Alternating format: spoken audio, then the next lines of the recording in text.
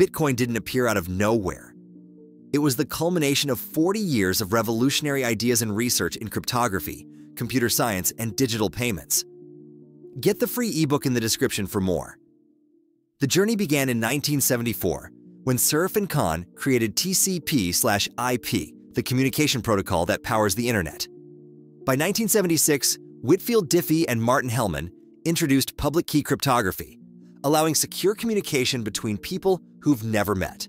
The 1980s saw David Chaum proposing blind signatures for untraceable payments, laying groundwork for private digital transactions. By the late 80s, the cypherpunk movement emerged, technology activists advocating for privacy through cryptography. In 1997, Adam Back created Hashcash, introducing the proof of work concept that would become crucial to Bitcoin's design.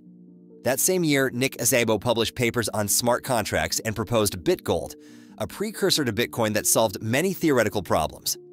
By 1998, Wei Dai published a proposal called B-Money, describing a decentralized database to record transactions using proof of work. And in 2004, computer scientist Hal Finney created reusable proof of work.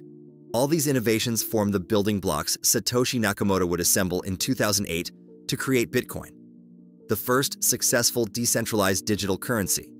As Nakamoto wrote, a lot of people automatically dismiss e-currency as a lost cause because of all the companies that failed since the 1990s.